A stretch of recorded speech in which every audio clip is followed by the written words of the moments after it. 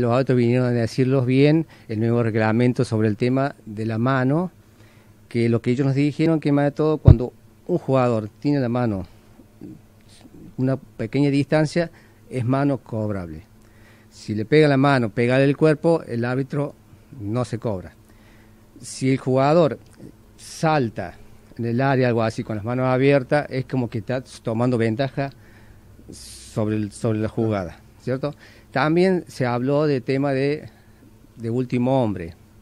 Cuando un hombre, el atacante va solo y el defensor de por detrás lo agarra, le pega todo con mala intención, es roja directa.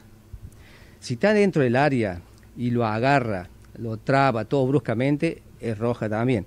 Salvo que, el, defensor, si entra el, delantero, trata de sacar la pelota, como sea, es amarilla. Salvo que ese defensor tenga amarilla anterior, es roja. Y la otra también con el tema de los arqueros. Los arqueros ahora se permiten, les aplica la hora de los chicos de la infantil, prejuvenil, juvenil, reserva primera, de que se pueden salir jugando dentro del área chica, el, el arquero con el jugador. Ah, Lo único que se pueden aplicar, que vuelvan a que juegue de nuevo, es cuando el arquero se la da al jugador, el jugador le levanta y se la da de la cabeza para que tenga ventaja el, arquero de sacarla.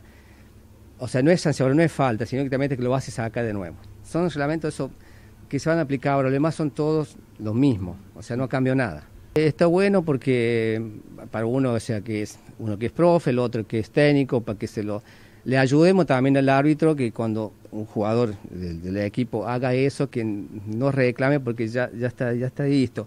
También se habló de que cuando un atacante patea, le pega al árbitro, si le rebote, le queda para el mismo atacante, sigue. Pero si el, del atacante le pega al árbitro y le recibe un contrario, es, o sea, eh, no es falta, sino que lo para y, es, o sea, que como que va a sacar provecho el, el, contrario. También eso, eso, eso está bueno porque por ahí eh, muchos los reclamamos, lo, reclama el, técnico, el ayudante, entonces esos puntos, esas cosas que eso van a suceder con el tema de todo con la mano, porque esas manos intencionales, intencionales, y cuando está en el suelo y eso por ahí uno le, da duda.